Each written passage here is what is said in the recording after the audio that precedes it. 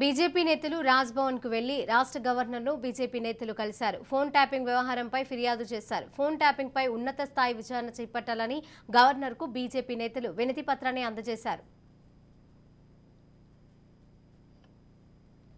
రాష్ట్ర ప్రతినిధి బృందం ఈరోజు గవర్నర్ గారిని కలిసి తెలంగాణలో గత బీఆర్ఎస్ ప్రభుత్వం ఫోన్ ట్యాపింగ్ ఏదైతే సంచలనం సృష్టిస్తా ఉన్నదో కొంతమంది పోలీసు అధికారులు అరెస్ట్ తర్వాత దర్యాప్తులో వెలుగులోకి వస్తున్నటువంటి అంశాలు చూస్తా ఉంటే చాలా జుగుప్సాకరంగా అత్యంత హేహమైనటువంటి చర్యలకు గత ప్రభుత్వము ఏ రకంగా పాల్పడిందో ప్రతిపక్ష పార్టీల నాయకుల యొక్క ఫోన్ సంభాషణలు మాత్రమే కాకుండా సమాజంలో ఉన్నటువంటి బడా వ్యాపారులు లేదా కొంతమంది సినీ ఫీల్డ్కి సంబంధించిన వాళ్ళే కూడా ఫోన్ ట్యాపింగ్ జరిగినట్టుగా దర్యాప్తులో మరి ఈ అంశాలు వెలుగులోకి వస్తా ఉంటే నిజంగా ఒక మాఫియా రాజ్యాన్ని నడిపినట్టుగా ప్రజలు భావిస్తా ఉన్నారు. ఆనాడు ప్రతిపక్ష నాయకుల యొక్క ఫోన్ ట్యాపింగ్ వల్ల ఏ రకంగా రాజకీయాలకు ఈ యంత్రాంగాన్ని ఉపయోగం చేసుకున్నారో విదేశాల నుంచి కూడా ఇజ్రాయెల్ టెక్నాలజీ సాఫ్ట్వేర్ తీసుకొచ్చి ప్రధానమైనటువంటి నగరాల్లో కూడా కేంద్రాలుగా ఏర్పాటు చేసి కొంతమంది టార్గెట్గా కూడా ఈ యొక్క ఫోన్ ట్యాపింగ్ జరిపి